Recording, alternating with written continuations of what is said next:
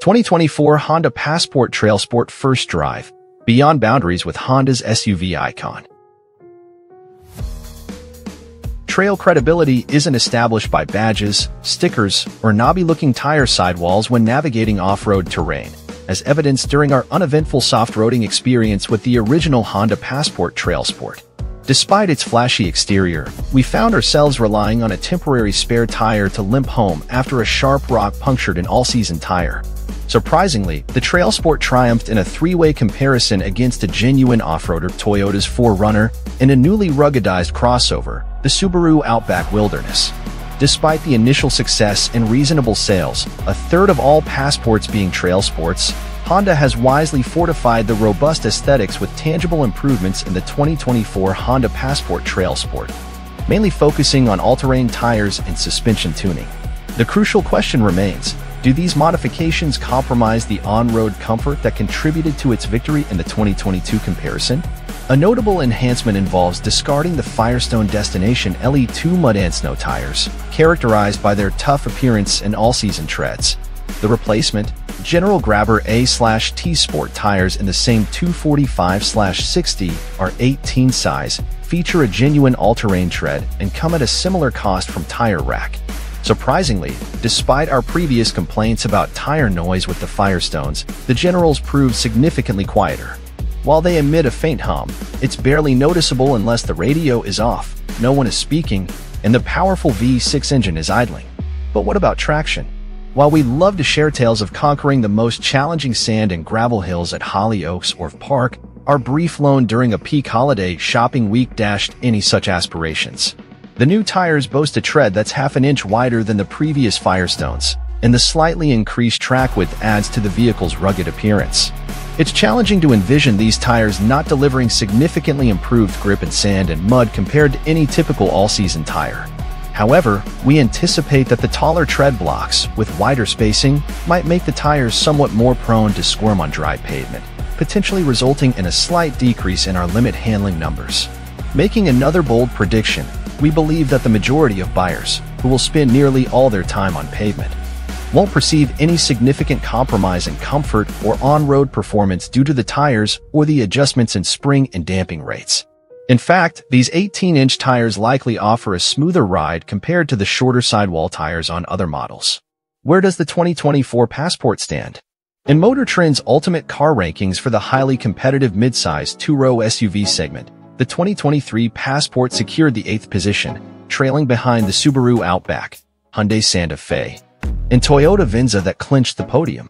This ranking is largely attributed to its class-leading 3.5-liter V6 engine, which earns it the best-in-class performance score, but is unable to offset its third-worst fuel economy score.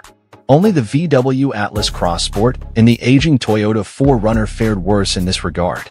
We anticipate that the 2024 revisions may not significantly alter its ranking in the segment. How does it stack up against off-road competitors? Implementing a reduction in spring rates by approximately 15% in the front and 10% in the rear coupled with a switch to a significantly less stiff solid rear anti-roll bar, is expected to enhance articulation. Damping adjustments accompany these modifications to ensure that there's no excessive roll or wallow when driving on pavement. While the Outback Wilderness remains the sole contender in the crossover class aiming for off-road prowess, the TrailSport's improved torque vectoring traction appears poised to build on the lead established by its 2022 predecessor. However, for those mindful of their budget, the $41,255 Subaru significantly undercuts the $45,875 TrailSport. Opting for a trail-rated Jeep Grand Cherokee now requires stepping up to the 4XE Trailhawk at a cost of $67,575. Still, we bet that a Laredo Altitude 4WD, priced at $46,435, can venture just as far off the road as the Passport, potentially even farther with a tire swap. The Toyota 4Runner TRD Off-Road, starting at $46,195, excels in off-road capabilities, easily outperforming the Honda while retaining a driving experience reflective of its decade-plus-old design. Data technology. Admittedly, the Passport is not at the forefront of technological advancements. Upon entering the vehicle, the screen may seem diminutive by contemporary standards, lacking wireless phone mirroring and relying on a corded USB-A connection, but there is a USB-C port for charging. The revamped console now features a wireless phone charging pad capable of securely accommodating larger phones, allowing for convenient screen viewing, with additional space for a second substantial phone. Even the robust V6 powertrain appears somewhat antiquated, and features like the Eco Button and Efficiency Coach, a cluster light that glows green or white, serve to slightly dampen throttle response and indicate throttle position, reminiscent of the vacuum gauges from the Malaise era. In essence, the 2024 Honda Passport stands out as a larger and more robust performer within the competitive landscape of two-row midsize SUVs. It maintains the renowned Honda reliability and resale value while, in its TrailSport variant, offers the potential to venture further off-road than many rivals without imposing extra costs for everyday use like carpooling or errand running. With an infusion of modernized technology and, perhaps, a hybrid powertrain, Honda has the potential to secure a prominent spot on our ultimate rankings podium for the Passport.